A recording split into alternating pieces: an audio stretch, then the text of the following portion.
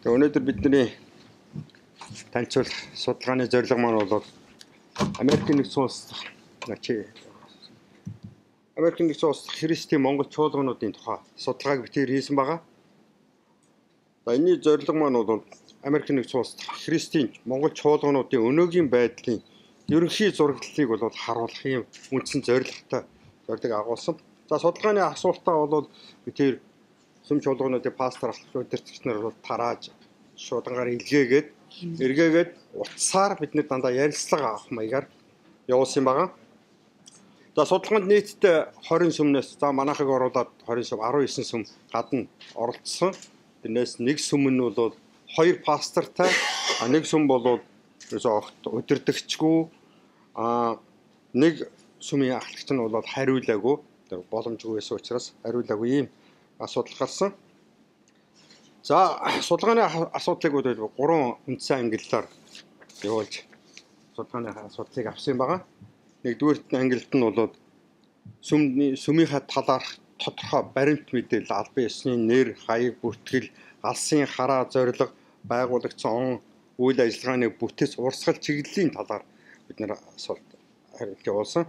Дараагийн дугаарт нь пасторуудын мэдээллийг авсан үйлчилсэн нийт хугацааны хэд зэрэг юм теологийн боловсрол мэрэгжил нь хэд зэрэг юм ямар боловсролтой юм гэдэг чиглэлүүдээр би тэр судалгаа авсан.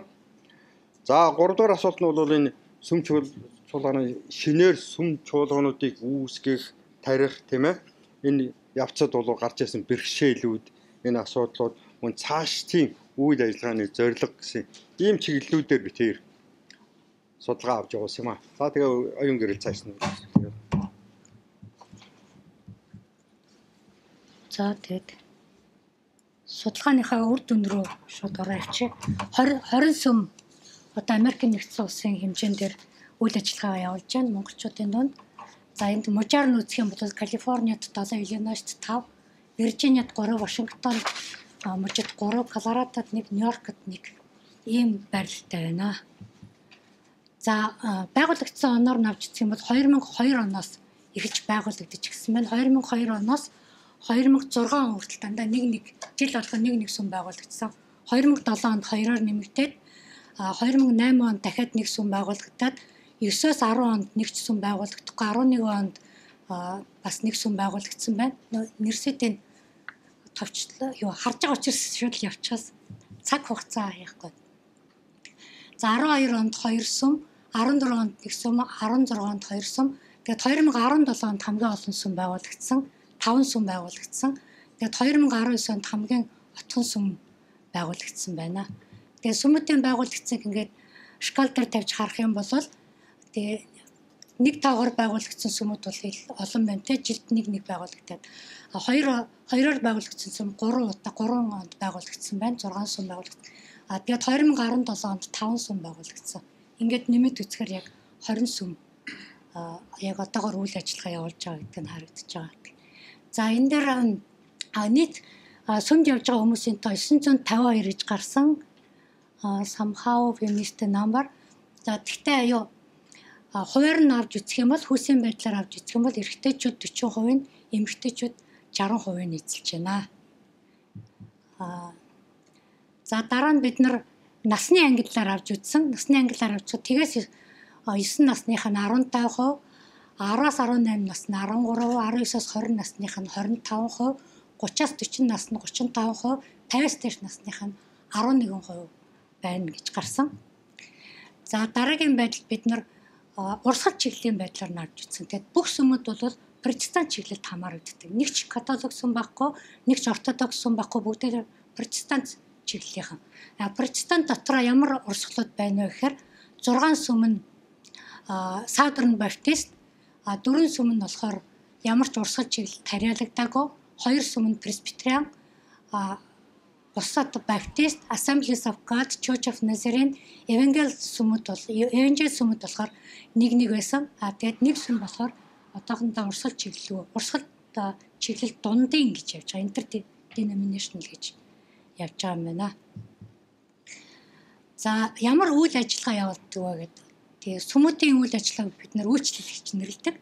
Тэгээд энэ бүх сүмүүд бол нэм гарагийн үйлчлэл явуулдаг. Ер нь нэм гарагийн үйлчлэл явуулдгаар нь бид нар энэ бүх 20 сүмийг тогтмол үйл ажиллагаатай гэж үзэж сонгосон байгаа. Тэгээд бүгдээрээ сандай сүрс үе нэм гарагийн үйл ажиллагаа явуулдаг.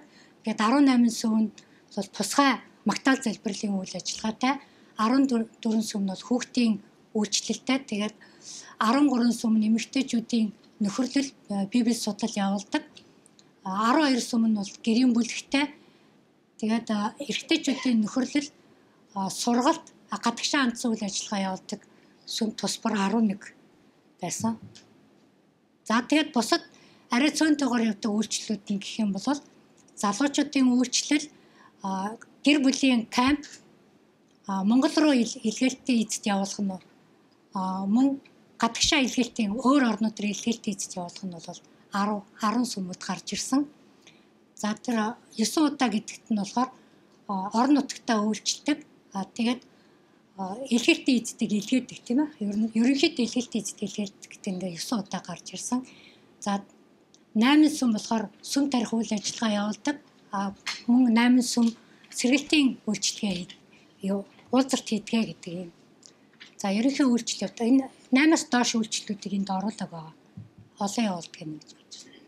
За бусад үр дүнгийн хувьд авч үзэх юм бол а бүх 20 сүмээс 17 нь фэйсбүүкээр өөрсдөө таниул буюу мэдээлэл хуваалцах үйл ажиллагаа явуулдаг фэйсбүүк пэйжтэй. А 10 сүм нь болохоор эмэгтэйчүүдийг номдол хийхийг зөвшөөрдөг.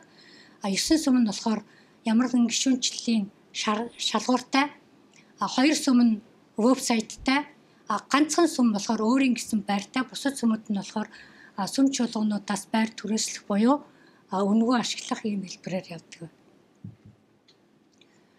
За алсын харааны хувьд ямар байсан бэ гэж гэсэн асуу ямар алсын хараатай гэсэн асуултанд бол 8 сүм нь бол агуу захирамж буюу үндэстнүүдэд хүрч дагалдагчдыг бэлтгэх гэсэн Матай номонд гарсан ишлэлийг бол алсын хараа болгож явдаг байна. Гурван сүм болохоор өөрийнхөө сүмийг нутгийн хүчтэй чуулган болгох юм алсын хараатай байна. Дөрвөн сүм бол их тодорхой алсын хараа байсан. Одоо инэрлийн үйлчлэгээ үзүүлэх ч юм уу тийм алсын хараатай. Хоёр сүм бол библийн ишлэлийг алсын хараагаа болгож томьёолсон байсан. А гурван сүм бол хариулаагүй учраас энэ бол тодорхойгүй гэдэгт оруулсан. За эрхэм зорилгын хувьд авч үзэх юм бол сүм болгоны эрхэм зорилгууд нь бол алсын хараатайгаа нэгт холбоотой байсан. Тэгээд эндээс яг дөрвөн ангилалд л орчиж исэн. Нэг нь болохоор авралын сайн мэдээг түгээх, хоёрдугаарт нь дагалдагч бэлтгэх, гуравдугаарт нь сүм тарих, дөрөвдүгээрт нь орон нутгтаа үйлчлэх гэсэн ийм дөрвөн чиглэлд алсын хараанууд нь бол хуваагдчихсан. Тэгэд 20 сүмээс бол 16 нь яг энд хариулсан. За пасторуудын туршлагын байдлыг авч үзэх юм бол энд бол пасторуудыг нэрээр нь тавьсан байгаа. 20-с дээш жил үйлчилсэн пастор 6 12-аас 15 жил үйлчилсэн пастор 3 тэгээ 10-аас доош үйлчилсэн пастор бол бас 6 гарч ирсэн.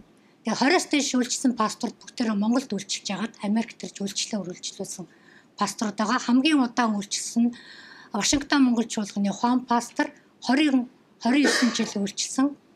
А тэрний 10 14 жил нь Америкт бусад жилүүд нь Монголд үйлчилсэн пастор байгаа.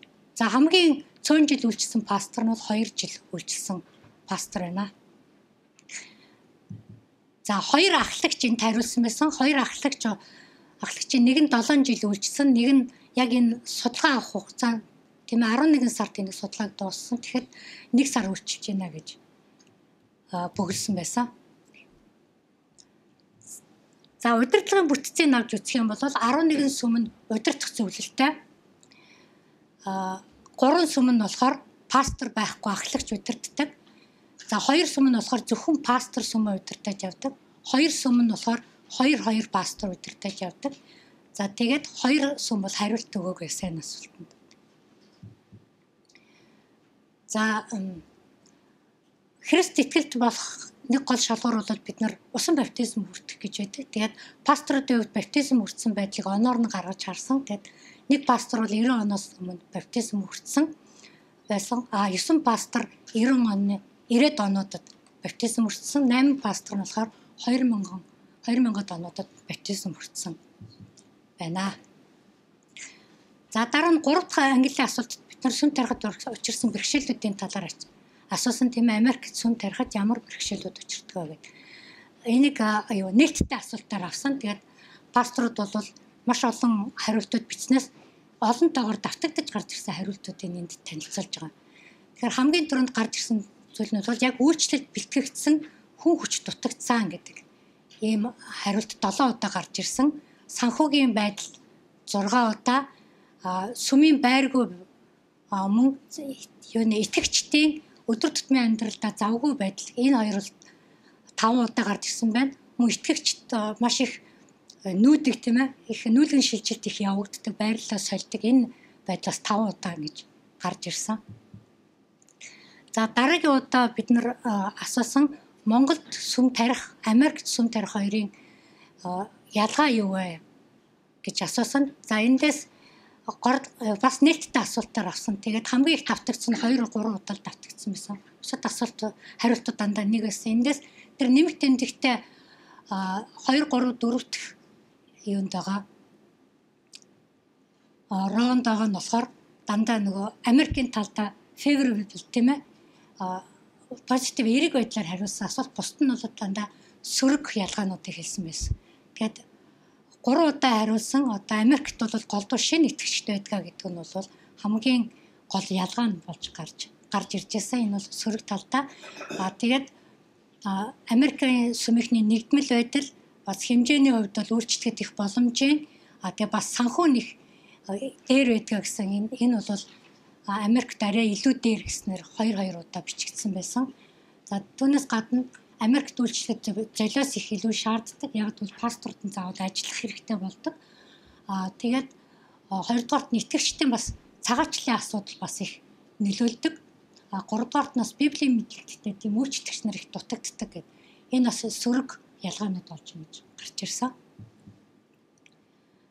За өөрийнхөө сүмийн давуу байдлыг юу гэж үзэж байна гэсэн. Тэгээд дийлэнх пасторууд бол одоогоор мэдэхгүй байна гэж хариулсан. Яг бол урд нь тийм харьцуулсан судалгаанууд ажиглалтууд их баг хийгдчихсэн. Энэ судалгаа бол ер нь анх удаа Монголын христч комьюнитигийн дунд хийгдэж байгаа судалгаа учраас анхны оролдлого учраас нурд нь юм хийгдэж байгаагүй учраас бас хариулж мэдэхгүй байх шиг л тийм асуулт ер нь тавигдчихж байгаагүй юм шиг үлээ. За тэгээд ерөнхийдөө ингээд өөрөөсөө бодож байгаад хариулсан нь болохоор юм хоёр хоёр удаа давтагдсан хариултуудыг энд авч гарч ирсэн.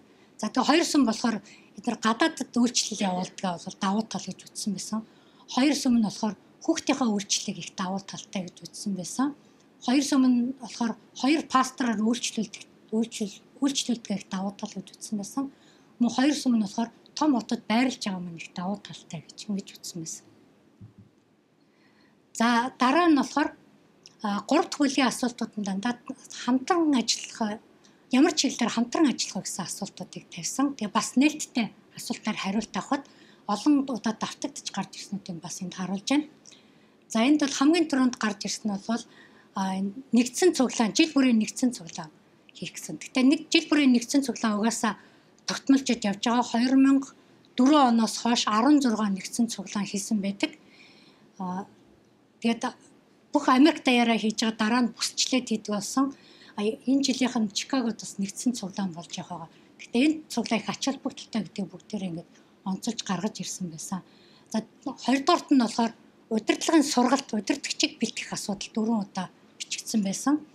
За тэгээд гадагшаа гадны орнууд руу илгээлтийн эзэж явуулах. Одоо Америкийн сүмч болгонууд харьцангуй хөл дээрээ тогтцсон учраас бас гадагшаа илгээлтийн эзэж явуулах юм үйлчлэлийг аль хэдийн эхлүүлсэн байгаа энийг өргөжүүлээ гэсэн зүйлүүд гарч ирсэн.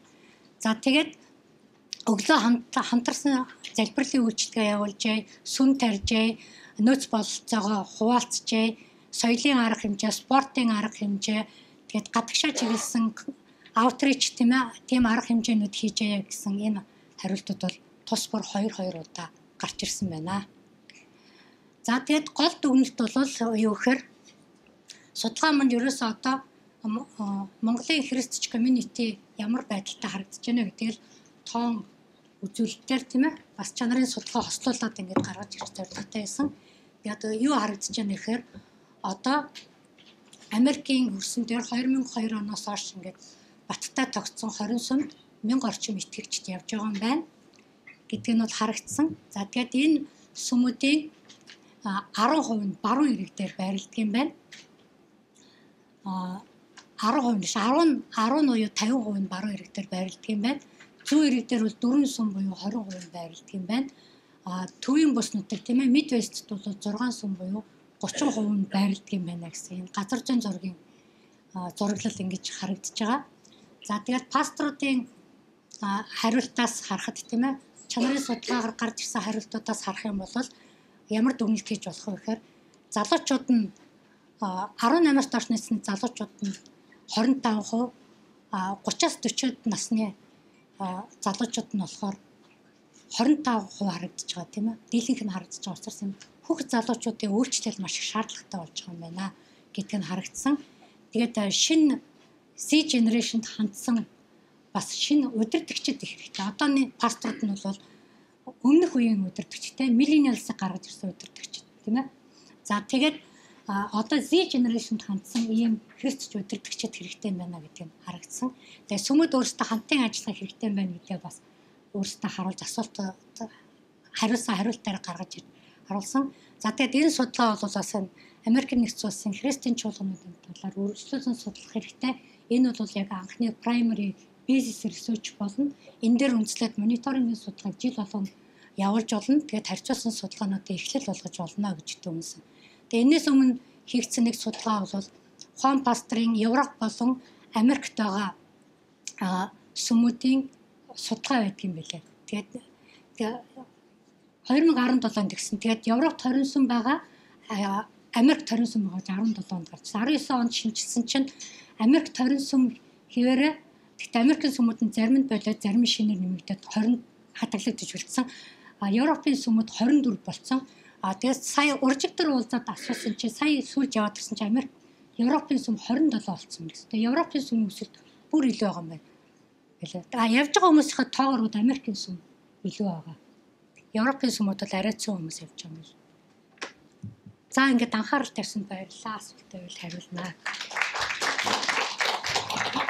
Энд бас энд бас өөр жижиг хотуудад байгаа нэг гэр бүл юм уу хоёр гэр бүл Америк сүмүүдэд яриад ч юм уу тийм хүмүүсийн тоо бол бид тийм. чадаагүй сүүлд нь бол сонсогдчихсэн тийм үнэтэй асуудал байгаа. Тэгээ яг Монгол сүмж энэ Монгол сүмүүдийг нөгөө яаж сонгосон гэхээр NAMPA гэдэг байгууллага тийм North American Mongolian Pastors Association гэдэг тэр байгууллагаас пасторуудын имэйлийг аваад холбоо орж агаад тэгээд юунуудаа кушны өдрөө явуулсан байхгүй. Тэгэхээр энэ байгууллагт холбоотой байдаг 20 сүм яг энд орсон байгаа байхгүй. Тэгэхээр бид нэр гэр гэр дотроо библи судал хийж байгаа хаус чөчтэй хүмүүсийг мэдхгүй тийм ээ. Солонгос юм Америк нөхөртэй тэр Америк сүмүүдэд явж байгаа итгэгчдийг бид нар бас энд оруулаагүй тийм. Тэрийг бас тооцох.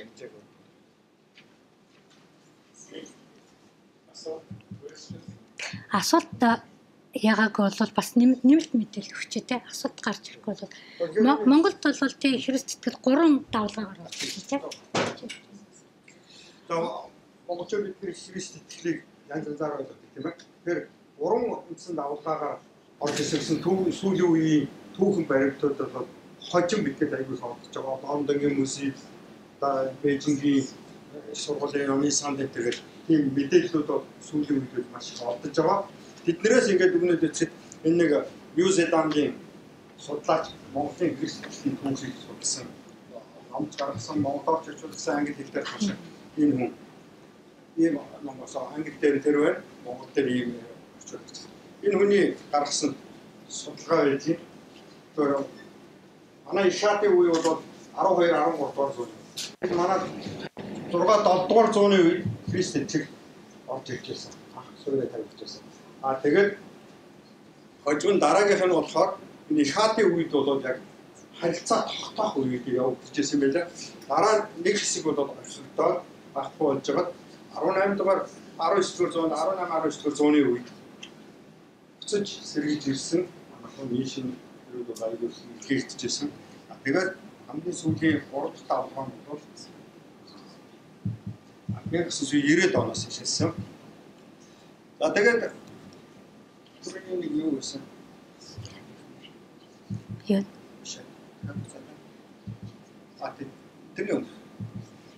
Энэ Христ итгэлийн түүхийг болохоор Европ руу яваад нэгдүгээр зууны үеэс тэгээд Европоос Аз руу орсон гэж их их судлаачид үздэг байсан.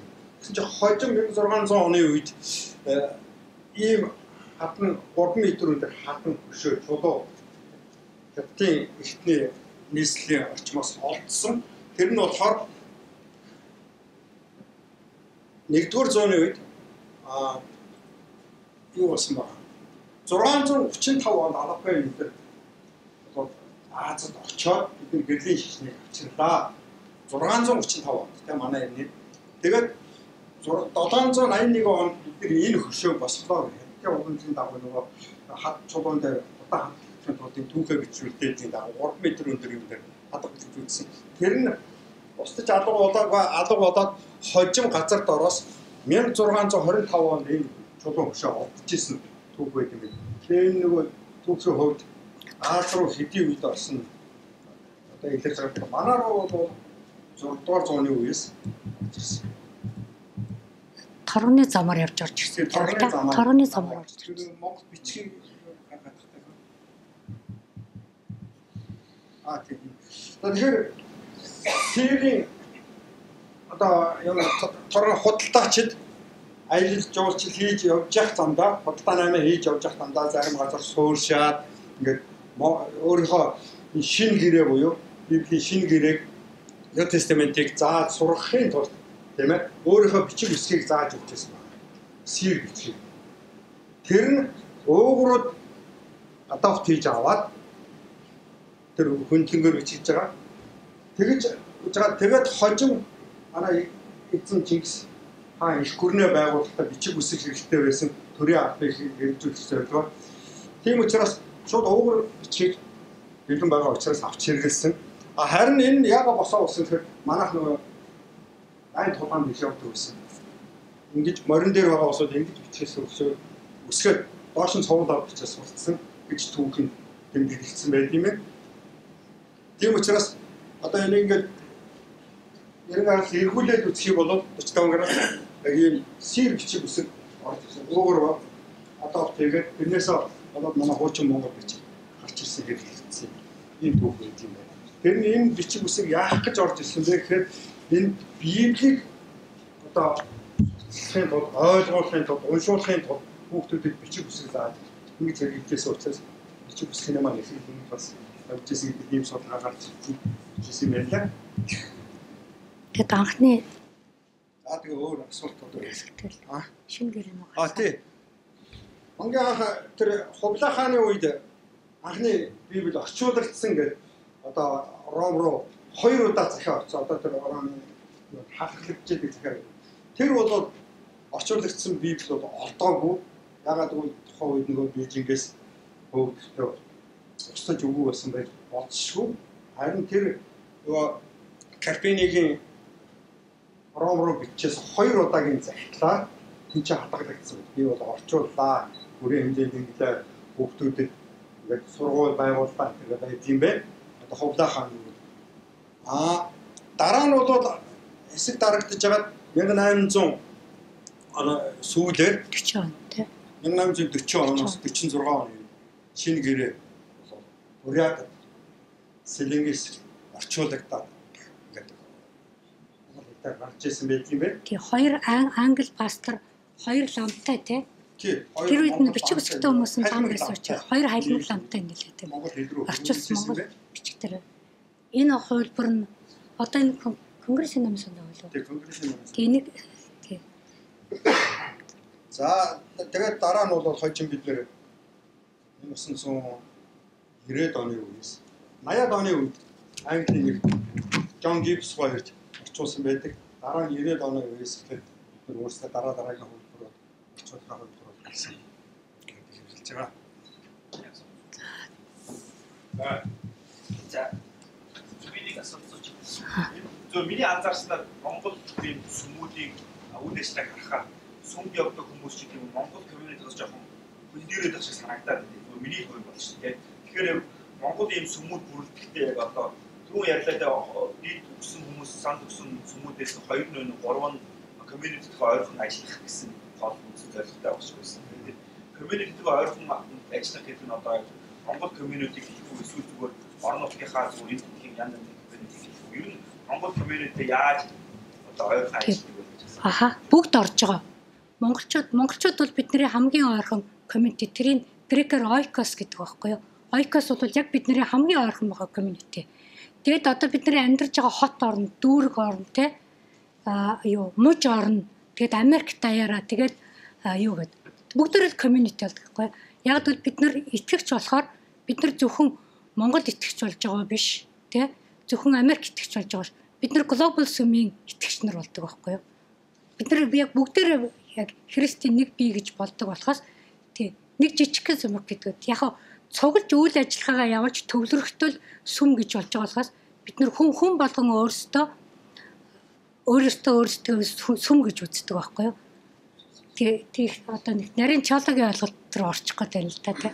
А тэр нөгөө та нар яагаад юу яаж харагдаж байгаа нь гэдэг нь бол бид нар өөрчлөгдчихдөг байхгүй. Тэгэхээр айгүй өөр юм шиг харагдаад та нар зайгаа өрөөд эхэлдэг байхгүй яг бид биднээс ч гэсэн найз нар ингээд зайгаа барьдаг.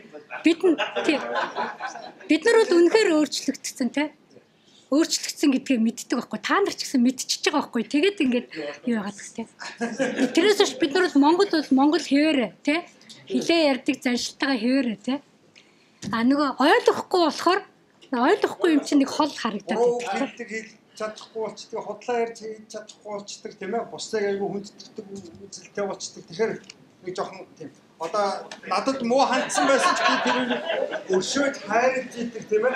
Өршөөж идэг. Тийм. Бид нар итгэлийн гол юм бол юу штэ тийм ээ.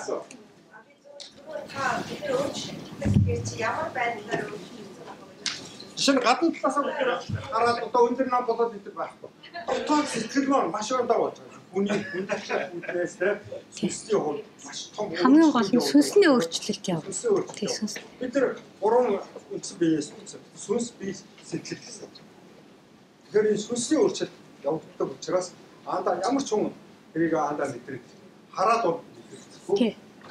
Бусад итгэл үнэмшлээс ялгаатай нь юу гэвэл тийм бурхан бидний бурхан бидний төлөө бууж ирсэн байхгүй бусад бусад итгэл үнэмшлийн хувьд бол бид нар өөрсдөө бурхан болох гэж хүсдэг те. Одоо бүх ихтгэл үнэмшлиг би бол өөрөө туулсан болохоор мэд өөрсдөө сайхан болох гол өөрсдөө хичээгээл чармаагаад тэгээд чадахгүй унаал яагаад би хичээгээд агаад болохгүй байна гэж зүтгээл идэх те. Тэгэл багш нар очиод яагаад гэтэл энд бол бурхан өөрөө бууж ирээд бидний төлөө өгөхөд бидний төлөө бүх юмыг хийцэн тэрийг ойлгоод хүлээж авангууд бидний дотор сүнсний өөрчлөлт явагдаа. тийм өөрчлөлт байдаг байхгүй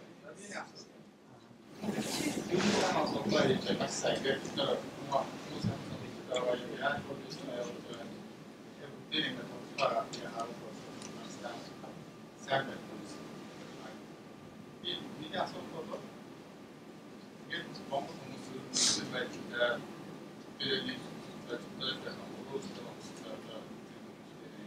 дизайн хийх. Ихтэй аа хийх тоонс Америкийн Европод бол бизнес үүсгэх гэдэг зүгээр. Америк гэсэн зүйлийн одоо а 20 жилийн дээр их ташаа явуулж байгаа. Цагаан арсны хүмүүсийн бизнес гэдэг чинь асаад. Тэгээд энэ зүйл нь хаяа явуулдаг. Тэгээд энийг бас анзаарах байна. Нар одоо шинээр юм хийж байгаа хүмүүс бизнес хийж болоод ирдэг. Шоу дээр бизнес шинэ юм болоод байна. Тэгээд 20 жилийн дараа энэ статус муниципалитет хамтдаа 20 жилийн дараа ингээд нөгөө тэдний дуурал дарам дуурал хамтдаа найз яг ч одоо цагаан арстай тэгээд найз тэдний дуурал чинь нөгөө зүйлс биш байна. Ямар нэгэн Араг ингээд хаваа хийж тансч яваад ийм нэг шиг болж бидний асуудал хөө ийм бас Тэр сүрээс одоо үнсэн.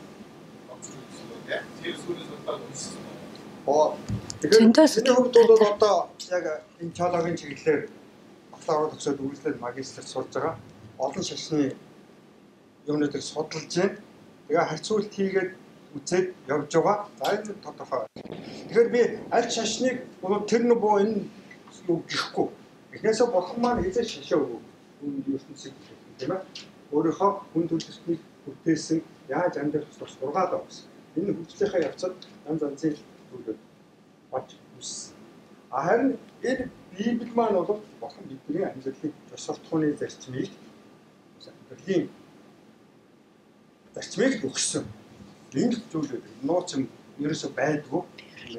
А харин тэр асуудал дээр ягаад нэг хожим өөр болчихоо яах вэ гэхээр Монголд ч гэсэн яг Христ итгэлийг олж аваад хайцуулж үзэн за энэ зүүн нэг бид нар хүмүүс хүний шахаж шаардлагагүй өөртөө тайлбарж ойлгуулж өгөөд хайцуулаад үз тэгээ сонгохдоо та энэ нууц юм байна.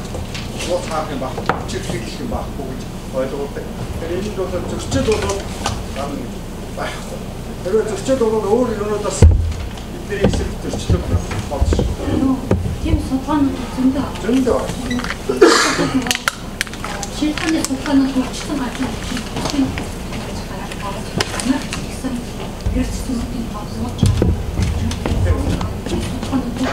харуулдаг. Гэхдээ энэ яг л гэсэн учраас шалтгааны бас гаргаж ирэх хэрэгтэй байна. Америкт бол өөрөө Христ үзэл баримттай үүсэж бий болсон. Босоо биш. 300 жилийн турш яг ингэж Америк шиг юм болсон. Байхгүй болсон. Тэгээд зөвхөн жишээл Тэгээд Америкчуудаа бүр илүү энэ их хүмүүстэй ороход өөр их явж байгаа юм. Гэтэ энэ Христэд итгэл үнэмшлийг ямар нэгэн хүний өөрөө жолж авдаг. Тэр хүн өөрөө сэтгэл хөдлөлт өөрөө.